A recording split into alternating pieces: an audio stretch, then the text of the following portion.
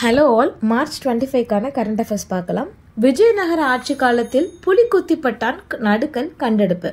திருப்பத்தூர் மாவட்டம் கந்தளி வட்டத்தில் கும்படி காம்படி அப்படிங்கிற ஒரு இடம் இருக்குது இதில் ஆராய்ச்சியாளர்கள் ஆராய்ச்சி செய்யும்போது புலிக்குத்திப்பட்டான் அப்படின்னு ஒரு நடுக்கல்லை கண்டுபிடிச்சிருக்காங்க.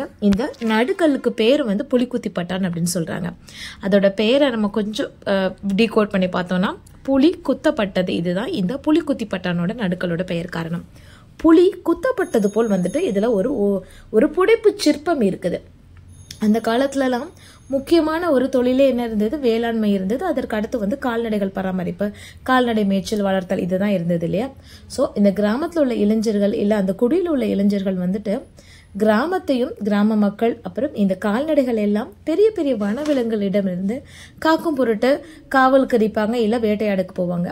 அந்த மாதிரி மக்களை வந்து காப்பாத்துறதுக்கும் கால்நடைகளை காப்பாற்றுவதற்கும் புலிக்கூட போடு சண்டை போட்டிருக்காங்க. அப்போ உள்ள பிக்சர் தான் வந்துட்டு இந்த இதில் புடைப்பு சிற்பமாக கொடுத்துருக்காங்க. இதில் அவங்க வின் பண்ணியிருக்கலாம் இல்லை புலிக்கு எதிராக வந்து சண்டையிடும்போது உயிர் தியாகம் செஞ்சுருக்கலாம். பட் அவங்கள வீரத்தை போற்றும் விதமாக வந்துட்டு இந்த கல் கொடுத்துருக்காங்க. இதில் அவர் யூஸ் பண்ண ர- ரெண்டு ஒரு பெரிய வாள் ஒன்று வச்சிருக்காரு. இன்னொன்று வந்து ஒரு சின்ன குத்துவாள் மாதிரி வச்சுருக்காங்க. இது வந்து அந்த சின்ன குத்துவாள் புலியோட வாயில் வந்துட்டு சொருகி இருக்கிற மாதிரி இந்த சிற்பம் இருக்குது இதை வந்து கட்டாரி அப்படிங்கிறாங்க இந்த ஆயுதத்தை பேர். அதாவது சின்ன குத்துவாள் மாதிரி இருக்கு. தன்னோட ரெண்டு ஃபிங்கர்ஸ் யூஸ் பண்ணி ஆள்காட்டி விரலையும் ஃபர்ஸ்ட் விரல் இருக்குல்ல ஆள்காட்டி விரலையும் நடு விரலையும் யூஸ் பண்ணிட்டு இதை குத்துற மாதிரி ஒரு பிக்சர் இருக்குது இது கட்டாரி அப்படிங்கிறாங்க இந்த ஆயுதத்தை. இவர் எப்படி இருக்காரு அப்படின்னா நம்ம சங்க காலத்திலலாம் பார்க்குற மாதிரி பெரிய கொண்டை முடியோடையும் நிறைய ஆபரணங்களோடையும் இடுப்பில் கச்சை துணியோடையும் காலில் சலங்கை கையில் வளையல்கள்லாம் போட்டு காணப்படுறாரு. இவர் பக்கத்தில் வந்துட்டு இவரோட மனைவியோட சிற்பம் வந்துட்டு சின்ன சிற்பமாக புடைப்பு சிற்பமாக அமைக்கப்பட்டிருக்கு. இது பதினான்காம் நூற்றாண்டை சேர்ந்த விஜயநகர ஆட்சிக்கு உட்பட்டது அப்படின்னு ஆராய்ச்சியாளர்கள் சொல்றாங்க. கோடை காலத்தில் ஏற்படும் பாதிப்புகளுக்கு தேவையான மருந்து வந்து கையிருப்பில் உள்ளது அப்படின்னு தமிழக சுகாதாரத்துறை வந்து சொல்லியிருக்காங்க. கோடை காலத்தில் அதிகமான இந்த வெப்ப தாக்குதலுக்கு உள்ளான நோய்கள் என்னெல்லாம் அப்படின்னு பார்த்தீங்கன்னா சின்னம்மை தட்டம்மை பொண்ணுக்கு வீங்கி. இந்த சின்னம்மை வந்து ஆண்டுதோறும் இருந்தாலும் இந்த கோடை காலத்தில் அதோட தாக்கம் வந்து அதிகமாக இருக்கு. இதற்கு காரணமான வைரஸ் வெரிசலா வைரஸ் அப்படின்னு சொல்கிறாங்க தென் தட்டம்மை பொண்ணுக்கு வீங்கி. இந்த பொண்ணுக்கு வீங்கி மம்ஸ் பார்த்துட்டு கேரளா கவர்மெண்ட்டில் வந்து சாரி கேரளாவில் வந்துட்டு அதிகமாக இந்த மம்ஸ் இருக்கு. இதை எப்படி கண்ட்ரோல் பண்ணலாம் அப்படின்னு ஹிந்து இங்கிலீஷில் வந்து ஒரு ஆர்டிக்கல் கொடுத்துருக்காங்க. நம்ம அந்த ஸ்டேட்டை விட்டுருவோம் கேரளா அப்படிங்கிற ஸ்டேட்டை விட்டுட்டு இந்த மம்ஸ் எதனால் வருது? இதை எப்படி கண்ட்ரோல் பண்ணலாம் அப்படின்னு அந்த எடிட்டோரியல் பேஜ் பார்த்து கொஞ்சம் தெரிஞ்சு வச்சுக்கோங்க. தென் தமிழ்நாட்டில் என்ன சொல்லியிருக்காங்கன்னா இதற்கு தேவையான மருந்து எங்கள் கைவசம் உள்ளது அப்படின்னு சொல்லனால பேராசிட்டமால் ஓஆர்எஸ் கரைசல் அசித்ரோமைசின் இது எல்லாமே வந்துட்டு எங்கள் கைவசம். கையிருப்பில் உள்ளது ஸோ மக்கள் யாரும் பயப்பட வேண்டாம் அப்படின்னு சொல்லியிருக்காங்க. தமிழ்நாடு கவர்மெண்ட் என்னென்ன இன்ஸ்ட்ரக்ஷன்ஸ் கொடுக்குறாங்களோ இந்த கோடை காலத்திலேருந்து தப்பிப்பதற்கு அதை ஃபாலோ பண்ணுங்க அப்படின்னு சொல்லியிருக்காங்க. விண்வெளி துறையில் சாதிக்க விரும்பும் சிறிய நாடுகளுக்கு இந்தியா கலங்கரை விளக்கம் போன்றுள்ளது அப்படின்னு பொருள் உலக பொருளாதார அமைப்பு வந்து ஒரு ஸ்டேட்மெண்ட் கொடுத்துருக்காங்க. இந்தியா வந்துட்டு ஒரு வளரும் நாடு வளர்ந்த நாடு அப்படின்னு ஒரு டிபேட் வச்சுருந்தேன்னா நிறைய பேர் இந்தியா ஒரு விண்வெளித்துறையில் ஒரு வளரும் நாடு அப்படின்னு சொல்கிறாங்க பட் இந்த கருத்து வந்து ஏற்புடையது கிடையாது. முன்னணி நாடுகளுக்கு சவாலாகவே இந்தியா விண்வெளித்துறையில் அதிகம் சாதித்துள்ளது. விண்வெளித்துறையில் பொறுத்த வரைக்கும் இது ஒரு வளர்ந்த நாடு தான் அப்படிங்கிற மாதிரி உலக பொருளாதார அமைப்பு வந்துட்டு சொல்லியிருக்காங்க.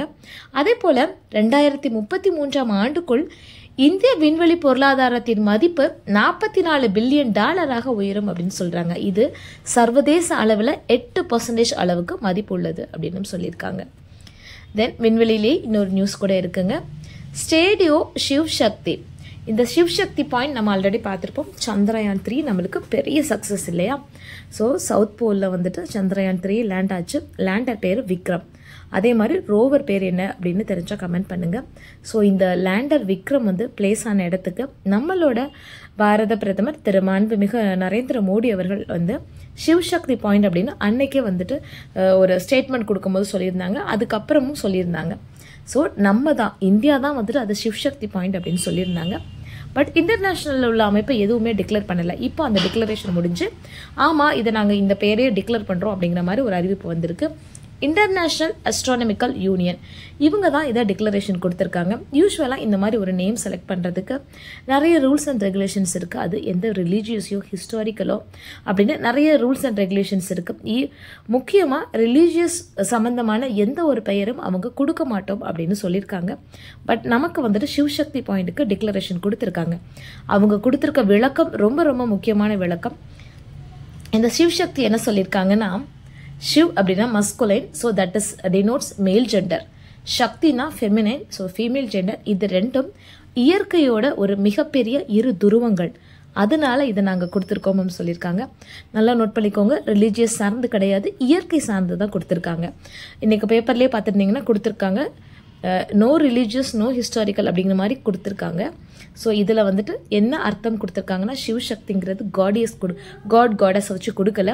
மஸ்குலைனா மேல் தென் சக்தி ஃபீமேல் கொடுத்துருக்காங்க. So this is a durability of nature அப்படிங்கிற அர்த்தத்தில் சிவசக்தி பாயிண்ட் வந்து டிக்ளேர் பண்ணியிருக்காங்க. ஜவ்வாது மலையில் ஒரு ஆராய்ச்சி நடந்தது. அந்த ஆராய்ச்சியின் முடிவில் வந்துட்டு நூறு மெகாலித்திக் பரியல்ஸ் வந்து கண்டுபிடிச்சிருக்கோம்னு சொல்லியிருக்காங்க. தமிழ்நாடு ஆர்கியாலஜி டிபார்ட்மெண்ட்டில் உள்ள ஆராய்ச்சியாளர்கள் வந்து இந்த ஆராய்ச்சியை மேற்கொண்டாங்க. இந்த ஆர்கியாலஜி சைட்டில் என்னெல்லாம் கண்டுபிடிச்சிருக்காங்கன்னா ஹண்ட்ரட் மெகாலித்திக் பரியல்ஸ் கண்டுபிடிச்சிருக்காங்க. ஜவ்வாது மலையில் பற்றக்காடு ரிசர்வ் ஃபாரஸ்ட் அப்படிங்கிற இடத்துல தான் இருந்தது. மெகாலித்திக் பரியல்ஸ் நிறையவும் நியூலித்திக் டூல்ஸும் ஸ்மால் ஹேண்ட் ஆக்சஸ் சிறிய ரக கைக்கோடாரி நம்மளோட நைன்த்து புக்லேயும் லெவன்த்து புக்லேயும் இந்த அந்த வார்த்தை அடிக்கடி வரும். சிறிய ரக கைக்கோடாரி ஸ்மால் ஹேண்ட் ஆக்சஸ்ன்னு சொல்லிட்டு அடிக்கடி வார்த்தை வரும். ஸோ அது நிறைய கண்டுபிடிச்சிருக்கோம் அப்படின்னு சொல்லியிருக்காங்க. தென் மார்ச் டுவெண்ட்டி ஃபோர் வந்துட்டு வேர்ல்டு டிபி டே இந்த டிபியை பற்றி எப்படி கண்ட்ரோல் பண்ணலாம்னு ஹிந்துவில் வந்துட்டு நிறைய எடிட்டோரியல் கொடுத்துருக்காங்க. இது எல்லாத்தையும் வந்து தொகுத்து இன்றைக்கி நம்ம பார்க்க போகிறோம் ஸோ டிபி டியூபர் க்ளோசிஸ் நம்ம எல்லாருக்குமே தெரியும். குளோபலி எந்த இயர் வச்சுருக்காங்க? எரோடிகேட் பண்ணிடுவோம்னு. இந்தியா என்ன என்ன இயர் வச்சுருக்காங்க? தென் தமிழ்நாடு இந்தியாவோட ஒரு இயர் வந்து முன்னாடியே வச்சுருக்கோம். இது என்னலாம் அப்படின்னு கொஞ்சம் பார்த்துக்கோங்க. குளோபலாக நிறைய பேர் வந்து பாதிக்கப்பட்டிருக்காங்க டிபியில் இதில் இந்தியாவில் எத்தனை பர்சன்டேஜ்னா டுவெண்ட்டி செவன் பர்சன்டேஜ் வந்து குளோபலி நம்ம டிபி பேஷண்ட்ஸ் நம்மக்கிட்ட இருக்காங்க. நேற்றுக்கு டிபி வேர்ல்டு டிபி டேன்னு சொன்னோம் இல்லையா? எந்த தீம் அப்படின்னா yes we can end TB அப்படிங்கிற தீமில் தான் வந்துட்டு நேற்று செலிப்ரேஷன் நடந்திருக்கு. இதில் டிபி நம்ம ஒரே வார்த்தையில் சொல்லிடுறோம் பட் இதுலேயும் வந்துட்டு அண்டர் நிறைய கேட்டகரைஸ் பண்ணியிருக்காங்க. என்னென்ன கேட்டகரைஸ்னால் இதில் ஒரு முக்கியமான ஒரு வேர்டை நம்ம நோட் பண்ணிக்கணும் ட்ரக் ரெசிஸ்டன்ஸ் நம்ம இதுக்கு முன்னாடி ஒரு டூ மந்த்ஸ்க்கு முன்னாடி பார்த்தீங்கன்னா அடிக்கடி நியூஸ் பேப்பரில் வந்துட்டு இருந்த வார்த்தை ஆன்டி மைக்ரோபியல் ரெசிஸ்டன்ஸ் ஸோ நம்ம ப்ரிஸ்கிரிப்ஷன் இல்லாமல் இல்லை டாக்டரோட ப்ரிஸ்கிரிப்ஷன் இல்லாமல் நம்ம நிறைய ஆன்டிபயோட்டிக்ஸ் இல்லை more than one antibiotics at a டைமில் சாப்பிட்றதுனால நம்மள உடம்புலே வந்துட்டு ஆன்டி மைக்ரோபியல் ரெசிஸ்டன்ஸ் இருந்தது. அதே போல் ஒரே ட்ரக்கை அடிக்கடி எடுத்துக்கிறதுனால நம்மளோட உடம்பு சில பர்டிகுலர் ட்ரக்குக்கு ஏற்றா நம்ம எந்த ட்ரக் எடுத்துக்கிறோமோ அதுக்கு ஏற்றாப்புல பர்டிகுலர் ட்ரக்குக்கு எதிர்த்தாப்பில் வந்துட்டு ரெசிஸ்டன்ஸ் உள்ளேயே பில்ட் ஆகிடுது ஸோ அதை தான் ட்ரக் ரெசிஸ்டன்ஸ் சொல்லுவாங்க எந்தெந்த ட்ரக்குக்கு ரெசிஸ்டன்ஸாக இந்த டிபி இருக்கோ அது வகையாக அதை கேட்டகரைஸ் பண்ணியிருக்காங்க. So drug resistance total drug resistance extensive drug resistance நால் பல்மோன பல்மோனரி டிபி இந்த மாதிரி ஒரு நாலஞ்சு கேட்டகரைஸ் பண்ணியிருக்காங்க. இதை பொறுத்து வந்துட்டு ட்ரீட்மெண்ட் இருக்குது ஒரு டென் பாயிண்ட்ஸ் அஜெண்டா கொடுத்துருக்காங்க டுவர்ட்ஸ் எண்டிங்காக டிபி அதில் என்னெல்லாம் பார்க்கலாம்? ஏர்லி டிடெக்ஷன் எப்போதுமே the first step is very very important first step என்ன? Detection early detection gives more accurate cure அவ்வளோதான் ஸோ டிடெக்ஷன் வந்து ரொம்ப ஏர்லியாக இருக்கணும். இதுக்கு நம்ம வெயிட் பண்ணியிருக்கக்கூடாது ஸோ டிடெக்ஷன் இஸ் மஸ்ட்னு சொல்லியிருக்காங்க. நெக்ஸ்ட்டு ப்ரிசைஸ் ட்ரீட்மெண்ட் கேட்டகரிஸ் நம்ம ஃபஸ்ட்டே சொல்லியிருந்தோம்ல நிறைய category drug resistance totally drug resistance அந்த மாதிரி கேட்டகரைஸ்க்கு தகுந்த மாதிரி ட்ரீட்மெண்ட் இருக்கணும். Treatment adherence and follow up ஒரு மைக்ரோபியல் ஒரு பாக்டீரியல் இன்ஃபெக்ஷன் மாதிரி ஒரு ஃபைவ் டேஸ் கோர்ஸ்லேயோ செவன் டேஸ் கோர்ஸ்லேயோ இல்லை ஒரு ஃபிஃப்டீன் டேஸ் கோர்ஸ்லேயோ வந்துட்டு இந்த டிபியை நம்மளால் வெளியில் ஏற்ற முடியாது. ஸோ இதுக்கு நம்மளுக்கு ஒரு கூட்டு முயற்சியாக வந்து ஒரு நீண்ட கால ஒரு ட்ரீட்மெண்ட் அவசியம். கிட்டத்தட்ட ஆறிலிருந்து எட்டு மாதம் குறைஞ்சபட்சம் ட்ரீட்மெண்ட்டில் இருந்தால் தான் டோட்டலாக இந்த டிபிலேருந்து வெளியில் வர முடியும் அப்படின்னு சொல்லியிருக்காங்க. ஸோ ஃபர்ஸ்ட் நம்ம ஒரு ட்ரீட்மெண்ட் ஆரம்பித்து அது ஒரு எட் எட்டு மாதம் வந்து டாக்டர் ப்ரிஸ்கிரைப் பண்ணியிருக்கலாம். பட் நாலு மாதத்துலேயே இல்லை மெடிசன் எடுத்த உடனே எனக்கு பயங்கரமான இம்ப்ரூவ்மெண்ட் தெரியுது அப்படிங்கிறதுனால நான் இப்போ ஸ்டாப் பண்ணோம்னா அகெயின் ஒரு சிக்ஸ் மந்த்ஸ் இல்லை த்ரீ மந்த்ஸ் கழித்து நான் வந்துட்டு டிபிக்கு எக்ஸ்போஷர் ஆனோம் அப்படின்னா என்னோட பாடி ரெசிஸ்டன்ஸ் லெவல் ஜாஸ்தியாயிரும். தென் ட்ரீட்மெண்ட் கிடைக்கிறது ரொம்ப கஷ்டமாக இருக்கும். ஸோ ஃபுல்லாக என்ன சொல்கிறாங்களோ அந்த ஃபுல் கோர்ஸும் முடிக்கணும் அப்படிங்கிறதான் சொல்லியிருக்காங்க. Then zero mortality controlling drug drug resistance என்னென்ன கேட்டகரிஸில் ட்ரக் ரெசிஸ்டன்ஸ் இருக்கோ அதை கேட்டகரைஸ் பண்ணி அதுக்கு ஏத்தாப்பில் வந்துட்டு கண்ட்ரோல் பண்ணுறது அக்ச accessing the extent of drug resistance TB availability of appropriate medicine, integration into larger health systems, dynamic notification system then considering population mobility and migration அப்படின்னு சொல்லியிருக்காங்க. ஸோ இந்த டென் பாயிண்ட்ஸும் வந்துட்டு அவங்க அஜெண்டாவாக வச்சுருக்காங்க. இதில் டிபியை எந்தெந்த முறையில் ஃபைன் பண்ணலாம் அப்படின்னு கொடுத்துருக்காங்க. ஸோ ஃபஸ்ட் என்னென்னு பார்த்தீங்கன்னா எக்ஸ்ரே நார்மல் எக்ஸ்ரேலேயே வந்துட்டு டிபி வந்து டிபி இருக்கா இல்லையா அப்படிங்கிறது ஓரளவுக்கு தெரிஞ்சிடும். ஸோ அதுக்கப்புறம் வேணும்னா ஃபர்தர் ட்ரீட்மெண்ட் போய்க்கலாம். தென் பிசிஆர் டெக்னிக்ஸ் கோவிட் அப்போ வந்துட்டு நிறைய பேருக்கு ஸ்வாப் டெஸ்ட்லேயே டிபி இருக்கிறதுக்கு உறுதி செஞ்சது. So swab test PCR techniques blood test then பிரான்ச்சிஸ்கோப்பின்னு சொல்லிட்டு நம்மளோட மூச்சுக்குழல் மற்றும் நுரையீரல் வரைக்கும் போகிறது bronchoscopy then TB pipeline technique அப்படின்னு இப்போ ஒரு டெக்னிக் வந்திருக்கு. That is so popular nowadays அது ரொம்ப பாப்புலராக இருக்குது அது மட்டும் இல்லாமல் ஸ்பிட் டெஸ்ட் சளி மற்றும் இந்த சளியெல்லாம் துப்புவாங்க இல்லையா? அந்த டெஸ்ட் மூலமாகவும் இந்த டிபியை வந்துட்டு கண்டுபிடிச்சிடலாம் அப்படின்னு சொல்லியிருக்காங்க.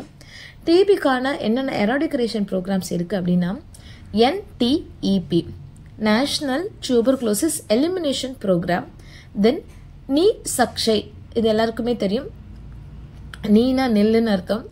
இந்த ஸ்கைனா வந்துட்டு டிவின்னு அர்த்தம். ஸோ டிபியை எராடிகேட் பண்ணுறது அது போக வந்துட்டு இந்த தத்து கொடுக்குற சிஸ்டம் அதாவது டிபி பேஷண்ட்ஸை வந்துட்டு வாலண்டியர்ஸ் நம்ம தத்து எடுத்துக்கலாம். அவங்களுக்கு தேவையான ஊட்டச்சத்துக்களை வழங்கலாம்.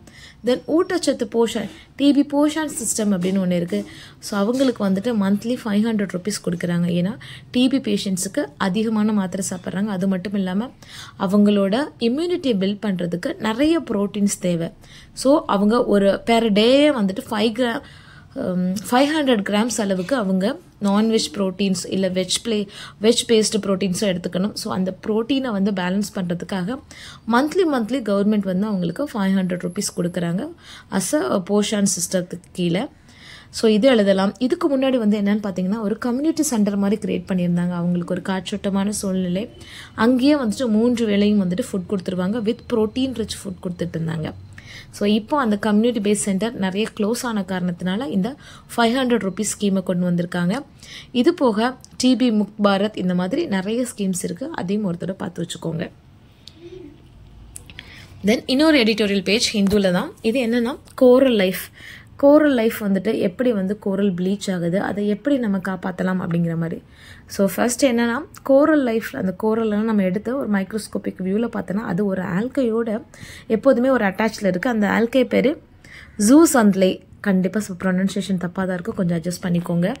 தென் கோரல் ப்ளீச்சிங் நம்மளுக்கு நடக்கிறதுன்னு எப்போதுமே தெரியல கோரலுக்கு ஒரு கலர் இருக்கும். அந்த கோரல் பவளப்பாறைக்கு ஒரு கலர் இருக்கும். அது வந்து ஈஸியாக ஏதாவது ஒரு ஃபிசிக்கல் ப்ராப்ளம்னாலேயோ இல்லை கெமிக்கல் ப்ராப்ளம்னாலேயோ வந்துட்டு ஈஸியாக டிஸ்கலரேஷன் ஆகிடும் அதுதான் வந்துட்டு கோரல் ப்ளீச்சிங் அப்படின்னு சொல்கிறாங்க இந்த கோரல் ப்ளீச்சிங் நடக்கிறதுக்கு டெம்பரேச்சரும் ஒரு காரணம் அப்படின்னு சொல்கிறாங்க ரொம்ப வார்மாக இருந்ததுன்னா அது சீக்கிரமாக ப்ளீச் ஆகிடுது அப்படின்னு கண்டுபிடிச்சிருக்காங்க.